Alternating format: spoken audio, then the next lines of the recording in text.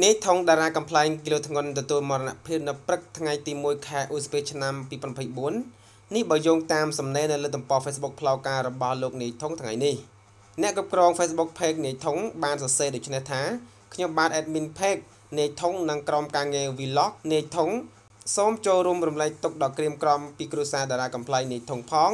ពិតជាលឿនពេកហើយទទួលយកមិនបានទេគាត់លាពីបងប្អូនរហូតហើយ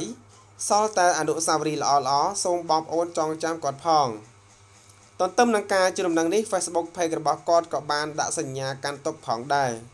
គូបញ្ជាក់ផងដែរថានេះថងកន្លងមកធ្លាប់តែត្រូវបានបញ្ជូនទៅសង្គ្រោះបន្ទាន់